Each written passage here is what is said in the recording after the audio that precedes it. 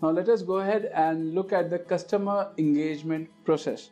Now customer engagement plays a very important role because it helps to build a relationship between the company and the different audiences which are being linked with the mobile phones. The customer engagement process mainly takes place either via advertisement or via mainly via word of mouth. Now let's consider if you are using digital marketing. First of all, you need to create your URL. When you're creating a URL, you are creating the awareness. Let us consider the case of Facebook. Now in Facebook, when you log into your account, you will find that different ads popping up. It may be via yuppie.com or any of the sites which place a ad into your account. Now this is mainly a front link and a back link which has been added to your account. Front link is the Facebook and back link is the for example yuppie.com. So they want to create the awareness about their website about the product. The second part leads to the recruitment. Now recruitment means how you add on to the new products or you delete the existing products or different schemes or you're linking your website to some other URLs that is being called as recruitment now, when a person hits the website, now there is a possibility when a person goes to a website, he may be a customer. Now, this customer, when he becomes a consumer, it is being called as the conversion rate. Now, after conversion rate happens, how frequently the customer comes to your website and he buys only from your website Let's assume that you're buying the product only from eBay or only from Amazon. You're not using any of the alternate websites of the competitors. This has been called as loyalty, which the customer has in mind of a particular website, which has been directly linked with the retention of the customers and the consumers. And the last will be the advocacy how new schemes are being launched by the same websites so that they can have a USP as compared to the competitors in the market. Now there are different key terms which play a very important feature in case of messaging campaign. Let's go and look at it one by one. The first one is text messaging which has been used for the application platforms. These application platforms may be from Windows, iOS, and Android because we are dealing with the development of a mobile application. The text messaging application platform it is a software offered for building text messaging provider. Now this software is being prepared by using the languages of Java or you may have HTML code, mainly CSS code and if possible XML code. The second feature includes mobile terminated text message or MT. Now mobile terminated messages refers to the text messages that originates from mobile application service provider and terminates on the mobile subscriber's phone. For example, if you want to find out the IMEI number of your mobile phone, it is as simple as you go to any of the mobile devices, just type in star hash 06 hash. You will find the different IMEI number of your mobile phones which has been provided to you by the mobile phone manufacturer. The third one is standard rate messages. It refers to text messages which only the standard carrier charges per message are applied to the customer's phone bill. For example, if you are using SMS marketing, in case of India, there are two types of SMS marketing which are being done. One is for the local market and one is for the national market. There are different rates which are being applied for marketing onto the local market. Simultaneously, the rates which are being applied for marketing to the international market. Strategic plan. Your strategic plan is a document outlining the details of your text messaging program. Now, it includes how many people you will be sending your text messages, what will be the content of the text messages, how many people and at what time viewing this text messages. So it comes under your strategic plan. It also includes the messages which are not being sent on holidays and which messages are being required to be sent on holidays. For example, if you're promoting a tourism company, it is advisable that your text messages, if being sent to the end user during the holiday or a national holiday, so the possibility of conversion from a customer to consumer increases. The other example can be if you are using SMS marketing for trading of a website and if the messages are being sent on holidays so the possibility of conversion ratio decreases because those messages will act as an irrelevant tool to the end user. Now we'll look into the best practices of building a database. First of all, when we say a database, database is a collection of data. Internally, your database is being divided into many segments. One of the segment is called as data mart. Data mart is being responsible for storing the data. For example, let us consider your email ID and password so there will be two parameters which will be like storing your email id and secondly the other parameter will be like storing your password. When this data mart is being prepared it has been prepared according to the different sizes which have been linked to the database. Now we had seen that we mainly register the customer's phone number onto the database. But apart from phone number there are different other parameters which can be looked at. Like if you have your customer's first name. The personalized messages can be sent on different occasions like the birthday, anniversary, and so on. If you have the customer's last name, it creates a differentiating factor if you have n number of multiple first name. Now, email ID acts as a very important factor because the email ID is unique, it cannot be duplicated. So if you have your customer's email ID, it can be used to cross reference with other lists that you may be managing. The fourth parameter is the location.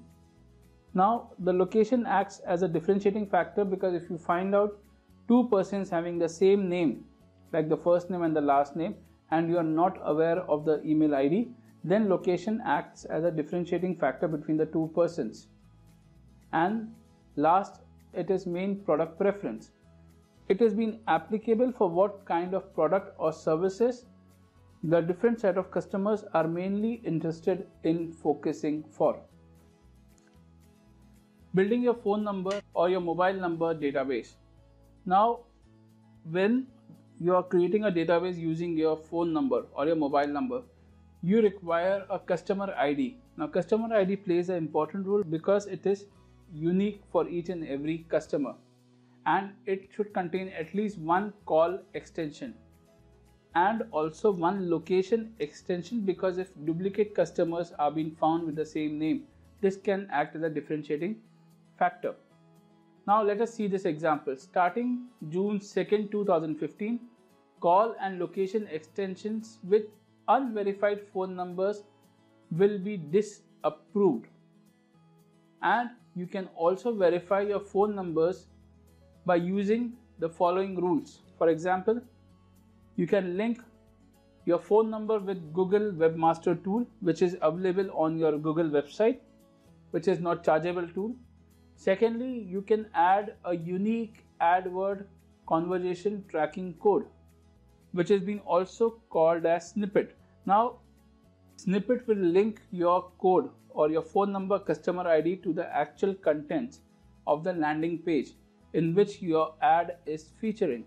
You would have seen that many websites where you have purchased your products mainly ask for your email ID or mainly ask for your mobile number with the extension. For example, if you have purchased any product from eBay, they will mainly ask you the country code and then your mobile number so that they can track from which country the person is booking the order.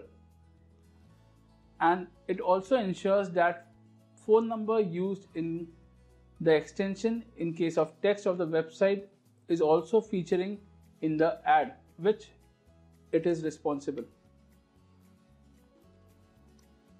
Now let's go to charging up your phone with call only campaigns. When you're creating a campaign into the campaign management page of google now let us assume that the type of network what you have selected is call only. And the campaign name what you have selected is into the campaign management is being called as call only. That is your campaign name.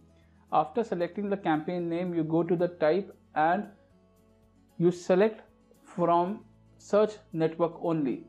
The different options which are available for you. The first one is called as the standard option.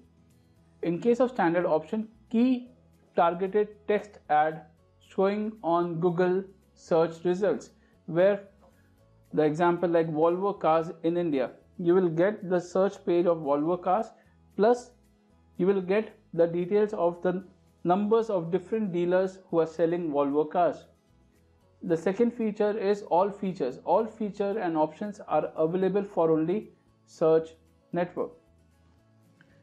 Now, if the website is having a mobile application, then definitely when you're opening the website, it will divert you to install the mobile application into your mobile phones.